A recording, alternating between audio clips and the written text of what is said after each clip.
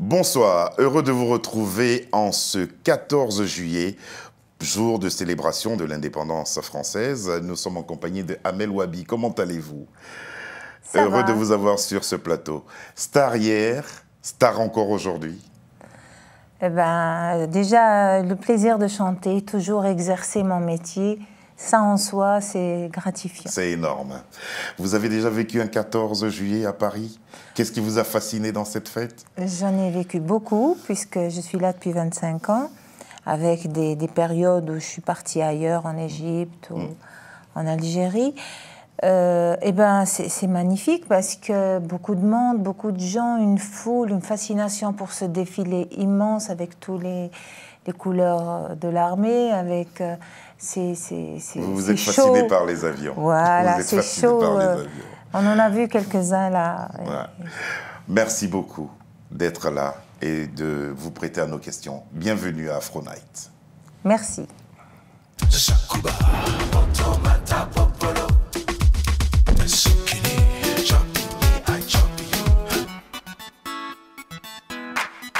Nous allons commencer par un de vos titres, Chocolate.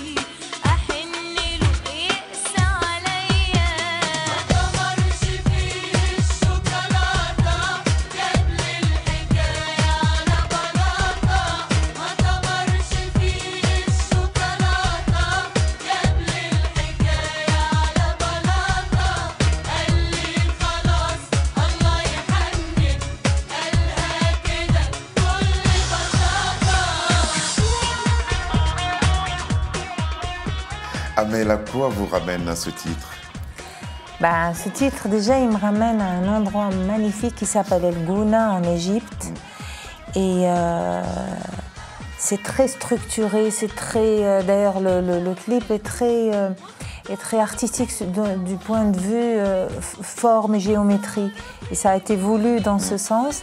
Eh ben, un amour énorme pour, pour cette Égypte que j'adore, ce coin-là du, du- du- du désert qui est magnifique. C'est beau. Medat El Kouli, c'est cette rencontre-là qui va tout déclencher Tout et qui fait. va tout déterminer. Qu'est-ce qui s'est passé? C'est lui qui vous a donné confiance? Bah, Medhat El Khouli, euh, ma rencontre avait euh, été très déterminante parce que moi, quand je suis partie en Égypte, euh, étant ni orientale, très orientale, ni très occidentale, étant entre les deux, ayant naturellement, comme tout Algérien, cette, ce mix naturel, d'ailleurs, je dirais même comme beaucoup, beaucoup d'Africains, Ouais. nous, nous avons été bercés dans cette culture puisque nous avons, euh, nous l'avons côtoyée d'une manière ou d'une autre.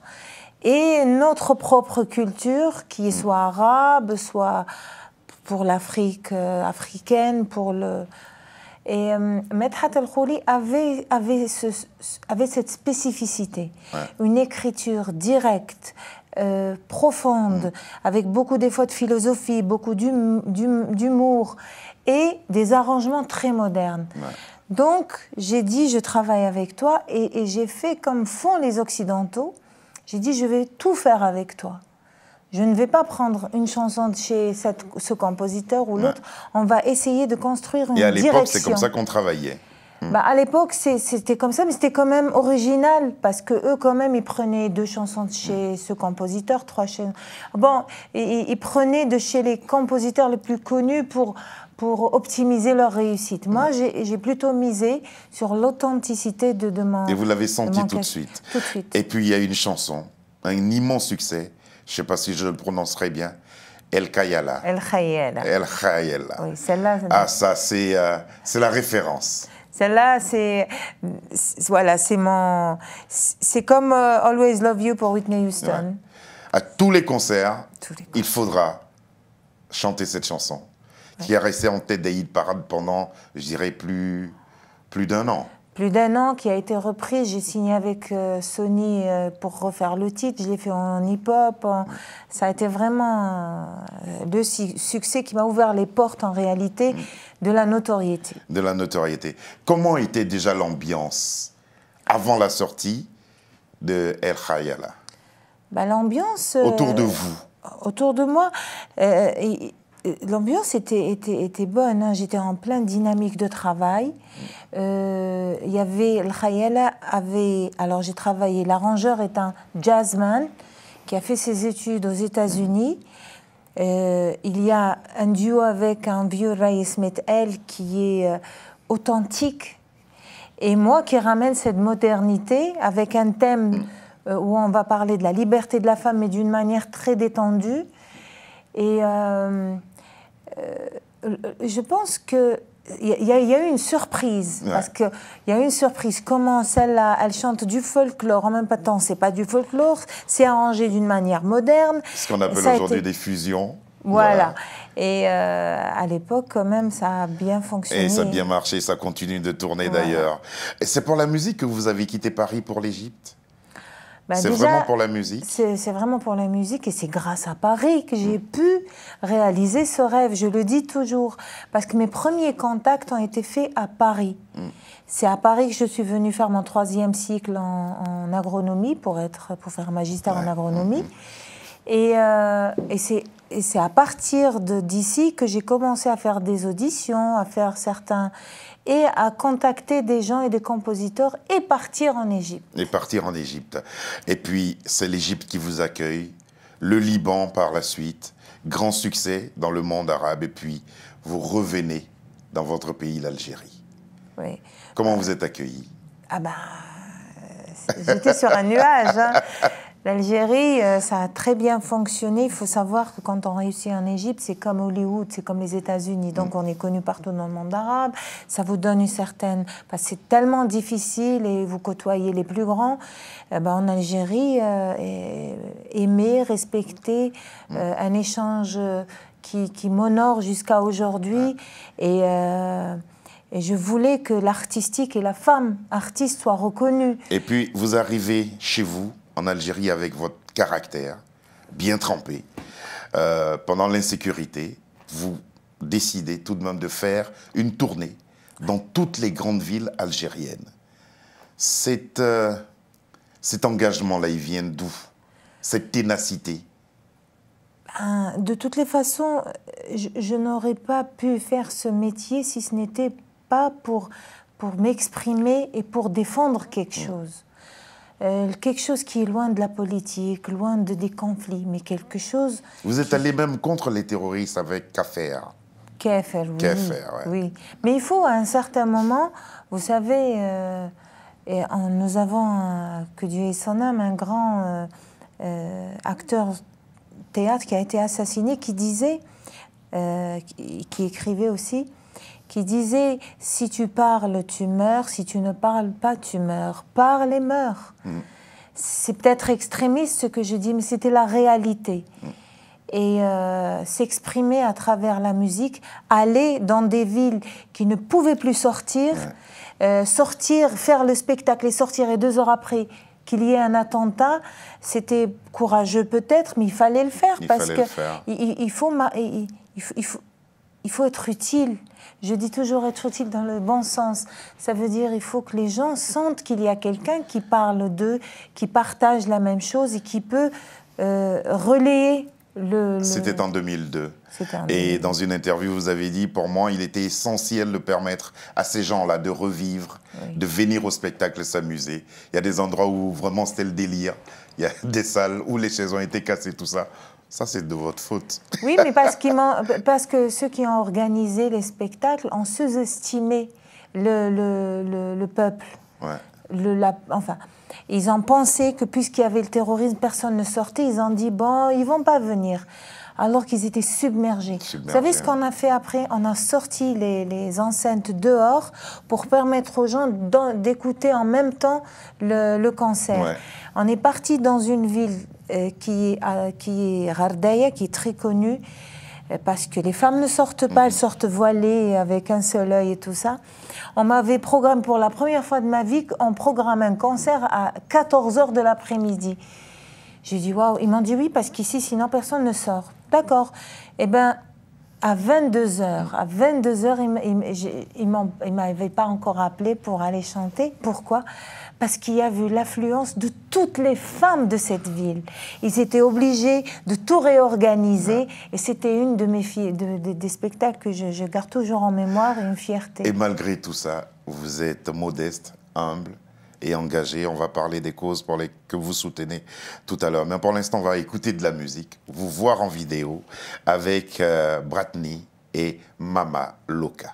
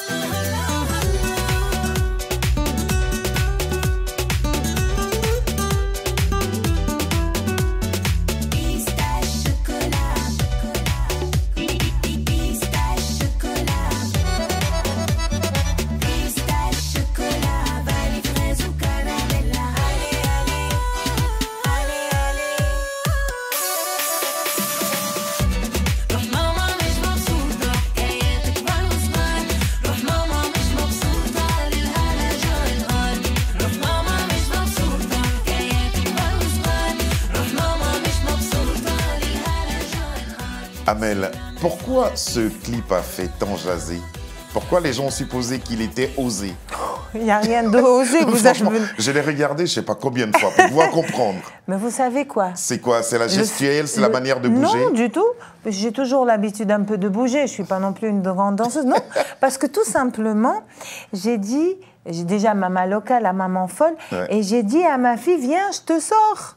Je te sors. Le fait de dire, je te sors. Mais toi, tu es une maman, toi. Toi, tu sors ta fille en boîte. Mais je leur ai dit, écoutez, écoutez ce que je lui dis. Ouais. Mama Loca, bon, c'est une chanson, ce n'est pas non plus. c'est- et c'est- Il y a de l'humour dedans, mais je lui dis fais attention, tu sors pas, euh, ne, ne, ne fais pas ceci, ne fais pas cela. Sors sainement.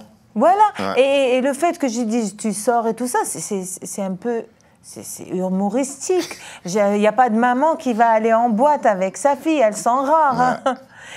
Mais, euh, Et puis aller en boîte sa fille, euh, c'est bien d'aller de sortir avec les enfants et puis on les surveille. Mais vous Surtout savez- qu'on ne fume plus dans les boîtes. Mais, mais vous savez que nous sommes quand même dans des sociétés assez hypocrites, où, euh, où, euh, on aime écouter de la musique, mais on n'aime pas que sa fille euh, chante. On aime... Alors justement, vous, comment vos parents ont réagi? Face à votre choix de carrière Eh ben, m'a mon père, mon père étant, étant quelqu'un de très ouvert et qui est, un- il a fait ses études en France, il a vécu en France, il est venu. Je lui ai toujours dit qu'un jour je, je chanterai parce que c'était ma passion. Il m'avait dit, un c'était une seule condition. Il m'a dit, tu termines tes études et fais après ce que tu veux. Mais tu sais, quand tu as élevé dans une certaine euh, rigueur, une certaine... Respecte-nous. Et j'ai- fait mm, le maximum pour toujours être vraiment... euh, pour rester et être grande à ses yeux. Ouais. C'est comme ça. Et eux me soutiennent beaucoup. Et après moi, il y a eu plein de filles Qui ont suivi. qui ont fait des études, qui se sont mises à chanter. Mais c'est ça l'idée. Ça répond un peu à la chanson de Idir, votre ami, paix à son âme, euh, Lettre à ma fille. Tout Voilà, en tout cas. Représentante SIDAction en Algérie, SOS Village d'enfants d'Algérie, Enfants malades en canciel en France, c'est la preuve que vos engagements n'ont pas de frontières et n'ont pas de limites. Euh, je me suis. Vous savez, j'ai commencé ma carrière et je l'ai faite en, É- en, en- en Égypte. Et en Égypte, je m'étais déjà engagée en Égypte. Après, je suis partie en Algérie. Je me suis engagée en Algérie. Je suis en France, je m'engage en France. Je, ne, je, je refuse les frontières. Dès que je peux donner quelque chose, dès que je peux contribuer, je le fais. Je ne, je ne, je ne prends rien. Ça veut dire, ce qui est important, c'est d'être utile. Être utile, en général, on dit donner, c'est recevoir. Oui. Vous ressentez ça aussi comme ça, On, on- on reçoit beaucoup, on reçoit. en donnant. En donnant, on reçoit. Euh, ça nous donne l'impression d'exister. Euh, dans ce métier, je me suis un peu arrêtée pour faire, pour faire trois enfants, pour un peu. euh, et je reprends maintenant. Et là, vous Mais revenez, entre-temps, mais entre-temps, j'ai toujours fait des spectacles bénévoles, j'ai toujours été présente. Et ça me fait du bien. Et ça nous fait aussi du bien de vous entendre et de vous voir chanter. En 2016, vous êtes honoré par l'UNESCO. On va voir l'affiche d'un film, Mémoire des scènes, que Sabir va nous montrer. UNESCO pour avoir enrichi la chanson et le cinéma arabe par le rôle que vous avez joué dans ce film. C'était comment, comment on perçoit et comment on reçoit une telle reconnaissance? Même quand on a joué devant toutes euh, ces grandes personnalités du monde. Ben, une reconnaissance, euh, surtout par l'UNESCO, les ambassadeurs de l'UNESCO, était très importante pour moi parce que moi, c'est toujours le, le côté culturel qui m'intéresse, la reconnaissance culturelle. Ouais. Vous savez, ça veut dire que j'ai ajouté, j'ai donné, il y a un message. Parce que je suis. euh, Moi, j'ai aimé des chanteurs, euh, je- je- ils m'ont. Ils m'ont aidé à avancer, ils, m'ont- ils, ils ont des fois répondu à des interrogations, rien qu'en qu'en écrivant, rien qu'en chantant. Donc je me dis, si il y a ce message, même si quelqu'un m'écoute, il est heureux, parce que j'ai pas, je suis pas non plus obligée d'être... La musique, c'est c'est vraiment quelque chose de, de- pour se détendre, pour Et puis réfléchir. c'est un partage aussi. Tout à fait. Ouais. Alors, euh, ça a été euh, honorable et j'étais euh, très, très touchée. Et ce rôle-là, ce rôle, euh, c'est un rôle où je parlais de, de l'action des intellectuels contre le terrorisme. Ouais.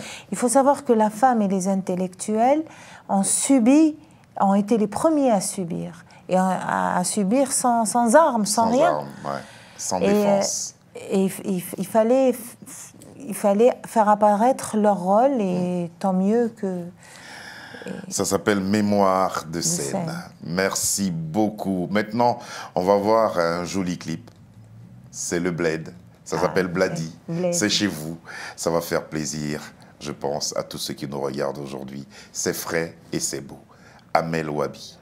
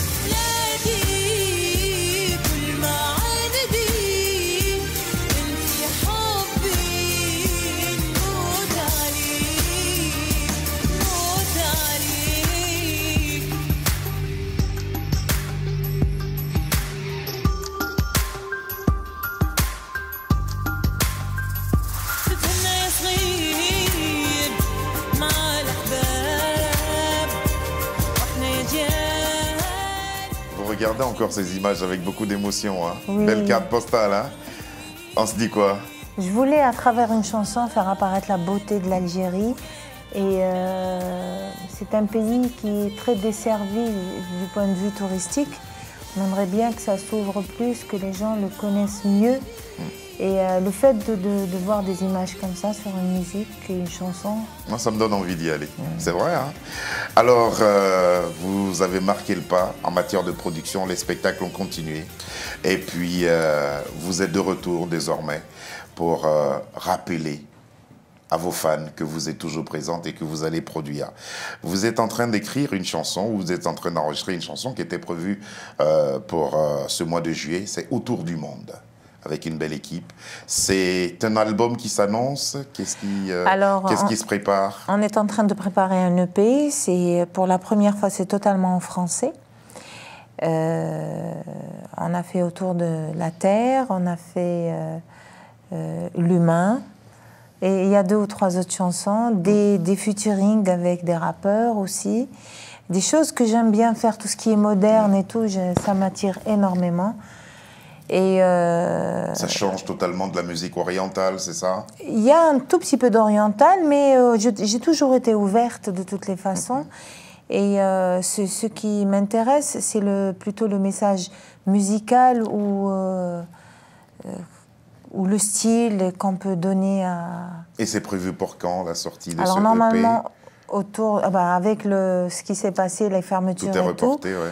non, mais on est en plein travail. Je pense que ça va être euh, la première chanson verra le jour euh, comme clip et tout le- en septembre. En septembre. En septembre. En septembre, ça sera la rentrée. Si nous sommes encore là, ce sera avec beaucoup de plaisir que nous vous recevrons pour en parler.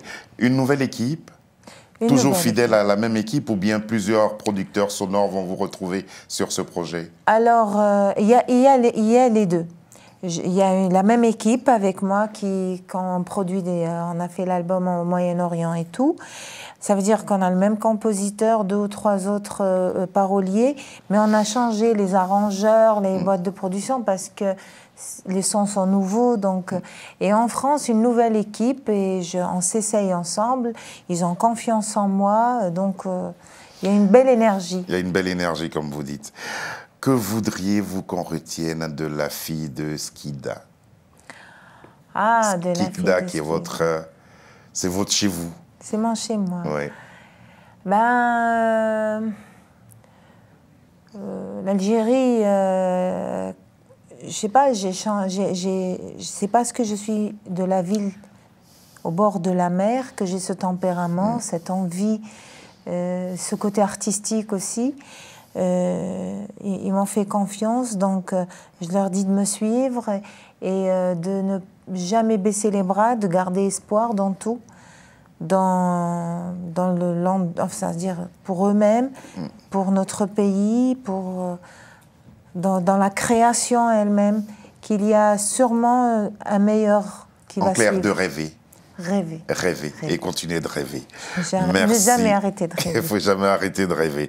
Merci beaucoup Amel Wabi d'être venu là. On va se quitter avec ce clip là avant d'attaquer bien sûr notre face à face. Ça s'appelle Baïdani. Je l'ai bien prononcé au moins. Baïd Ani. Baïdani. Et c'est parti.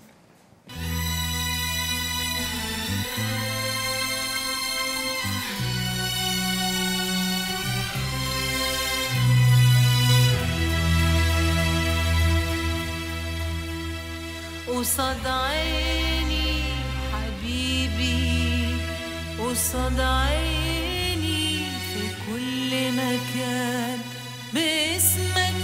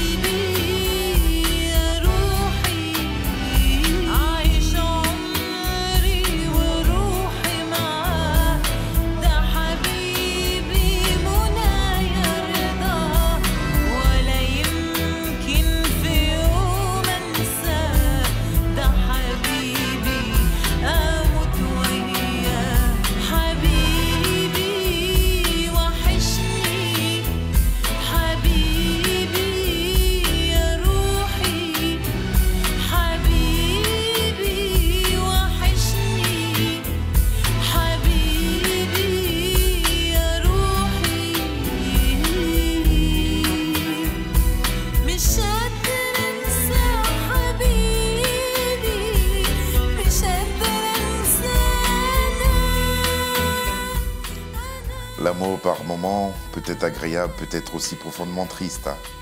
C'est comme ça qu'on résumerait cette chanson. Exactement, Ouais. exactement. Merci beaucoup, Amel Wabi, d'être venu. À la rentrée prochaine, le EP sera prêt, le clip aussi sera prêt, et puis on sera ravis de vous recevoir à nouveau. Voici venu notre face-à-face. Amel Wabi, dans quel pays avez-vous rencontré votre époux? En Algérie. En Algérie. Qu'est-ce qui vous a fait le plus plaisir pendant le confinement Euh, la cuisine. Vous avez beaucoup cuisiné. Vous vous êtes amélioré.